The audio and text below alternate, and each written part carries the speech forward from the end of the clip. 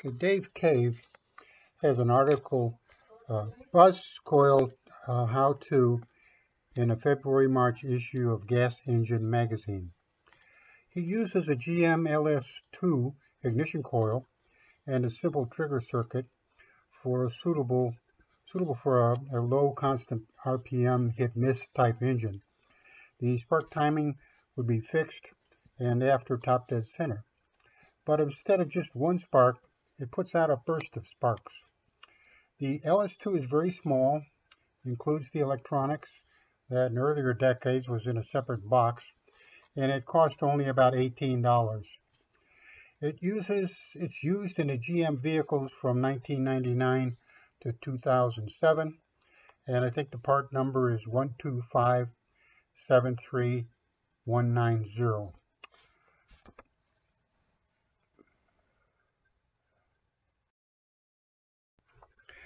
I got to thinking about using the LS2 ignition coil triggered by an induction type of trigger that I've used for many years with a Chrysler control module.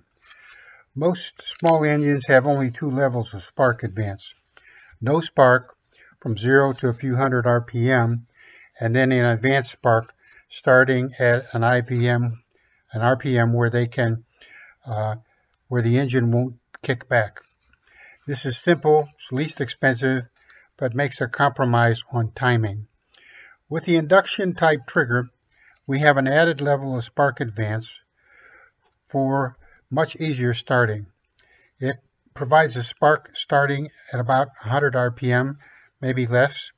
Uh, that's timed at top dead center, so that so it has no kickback. It is uh, easier on a battery and the starter motor.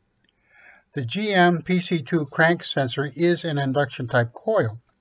Uh, the, Hall, the Hall effect type coils would not be suitable for the RPM for a uh, controlled level of spark. I have several of the PC2s already, and uh, but some conditioning is required to have them work with the, uh, the LS2 ignition coil. The LS2 ignition coil is triggered by a signal from a computer.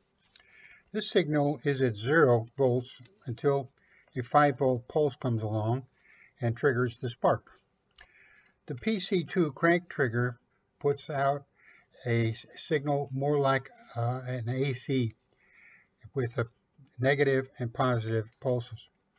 The LS2 won't like the negative pulses, but this is easily fixed by routing the output from the PC2 through a bridge rectifier, like those used in converting the AC from a stator to a DC for charging a battery. This gives us a positive trigger pulse that is actually a doublet of two pulses. The induction coil, PC2, has an output voltage that increases with the RPM which we need for the RPM control of the spark timing. Voltage is much higher than volts, 5 volts, would not be compatible with the LS2. So we just clip the top off the trigger signal at 5.1 volts, which is above the trigger level of the LS2. Uh, this requires a 5.1 volt Zener diode. I'm using small components so I can fit them in the PC2 connector but one could alternately use a small box as an alternative.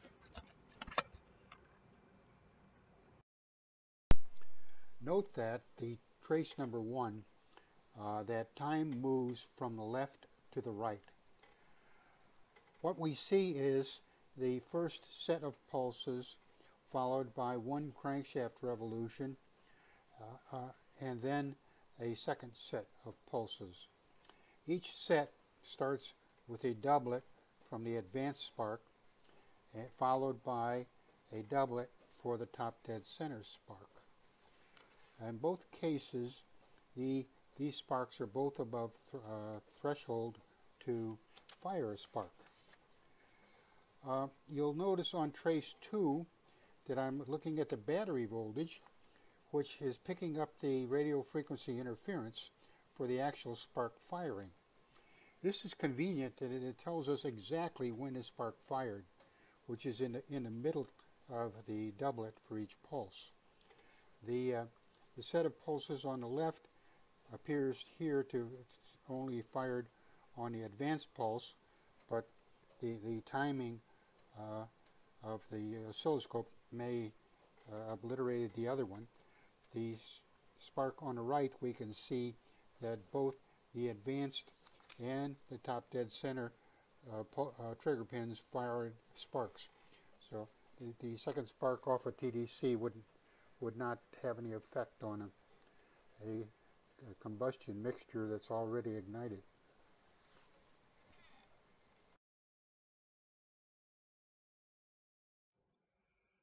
The wiring is very uh, simple.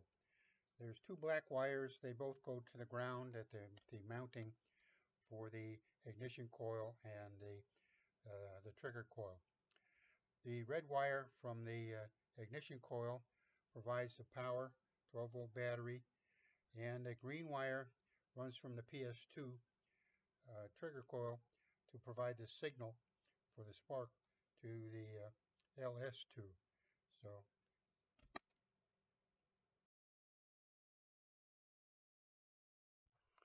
the amount of air of spark advance is determined by the physical location of the trigger pin on the flywheel.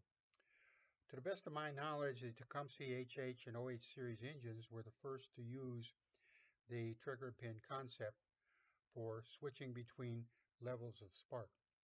On the, uh, the Onan NB engine uses this concept too, but with only one trigger pin, since uh, I believe uh, the engine has compression release. If you're using a different engine, there is no room for the PC2.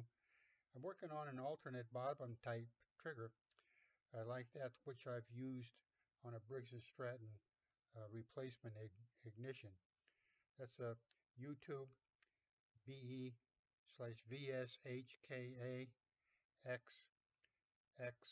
XX9JY. The spark gap is still an open issue and engines that the, were used the LS2 ignition coil used a 60 thousandths air gap, which is about twice what the original HH120 air gap. Uh, I haven't done enough testing yet, but if you're having performance problems at, at high RPM, I think you may need a wider spark gap.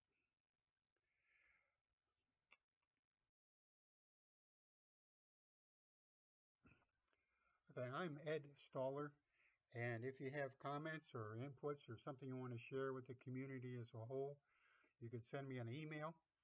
That's strictly my name, Ed, E-D, S-T-O-L-L-E-R, at earthlink.net. Thank you.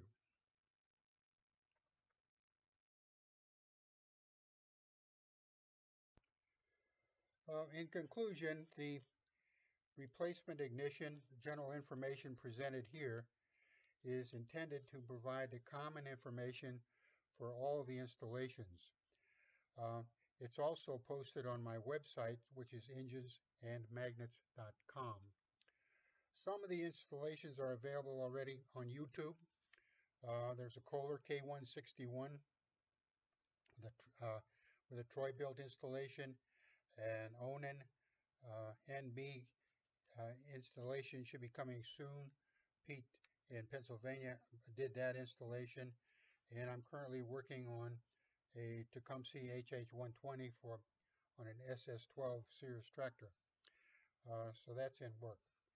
Sometime in the future, when I get around to it, uh, we'll try something on a Briggs & Stratton engine.